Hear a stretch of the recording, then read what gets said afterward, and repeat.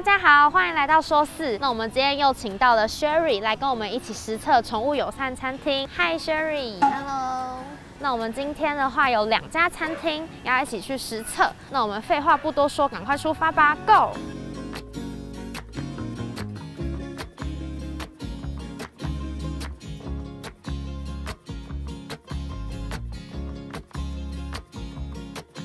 我现在来到第一家宠物友善餐厅，它叫做哈咖啡。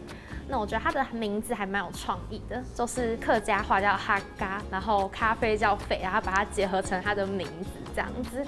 那 Sherry，你觉得这一边的气氛怎么样呢？你竟然可以看到它有很多客家元素，有客家花布啊，然后有那个复古的菜橱，然后整个氛围他们都是用木制品来打造的，所以其实蛮温暖的感觉。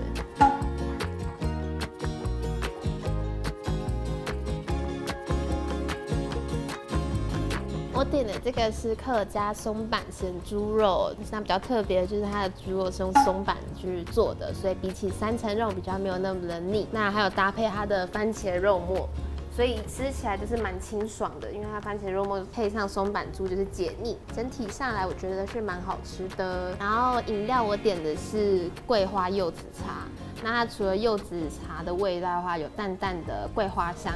所以其实喝起来跟一般柚子茶蛮不一样的，我觉得大家有来的话可以来试试看。然后最后是他们招待的松饼，那它上面就是有黄豆粉跟焦糖脆饼。其实我觉得焦糖脆饼去搭配那个冰淇淋，吃起来还不错，有脆脆的口感，然后又有焦糖的香。这边想请问 Sherry，觉得哈咖啡宠物友善的部分怎么样呢？嗯，它的座位有分就是室内跟室外。然后室外的话就是可以不用推车，那室内的话可能就是需要宠物在推车内才可以进来。我觉得户外不错的点是它有一个大草皮，可以让就是你的毛小孩在外面跑来跑去的。然后它外面有设置就是那种露营的小帐篷，其实很适合拿来拍照，就是跟宠物一起拍个漂漂亮亮的照片。这边想请问 Sherry 会给哈咖啡宠物友善的分数几分呢？嗯，这边的话我会给它三点五分。那我们接下来前往下一家餐厅。好，走。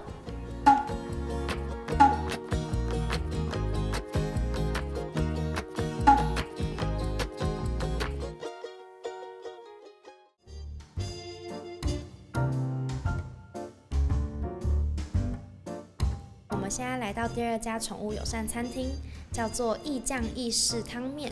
它其实是连锁餐厅，我们选择的是中立词汇店。它位在住宅区内，所以很安静，整体环境也让人感觉很舒服。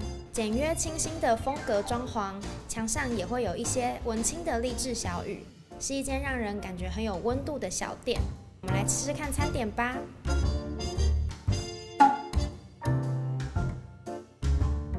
Sherry 觉得它这边餐点的部分如何呢？我觉得它的意大利汤面是真的很好吃。我觉得很多汤面它的味道都会分开，就是汤是一个味道，面又是另外一个味道，但它融合的很好，而且它的料都给了超级多，所以我觉得是一个 CP 值很高的选择。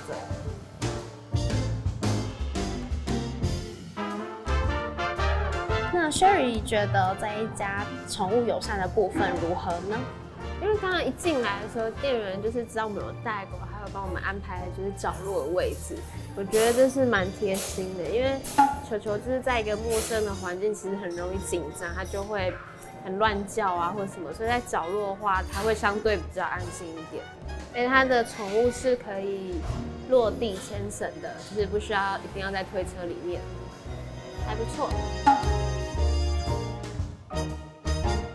满分是五个狗爪的话，Sherry 会给这一家宠物友善的分数是，嗯，我应该会给他三点五分。对，就是其实整体的氛围还是不错，然后店员也对宠物都很友善。好睡哦，氛围应该真的很好，他睡得很好。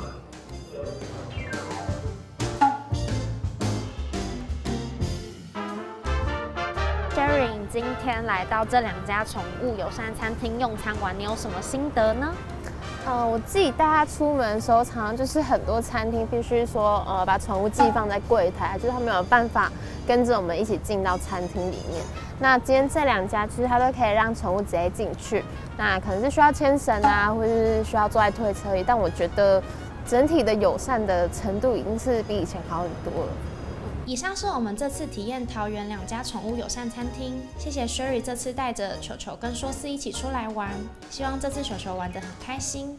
这也是说四，别忘了订阅我们的频道哦。那我们下次见，拜拜。哟，拜拜，球叔拜拜，拜拜。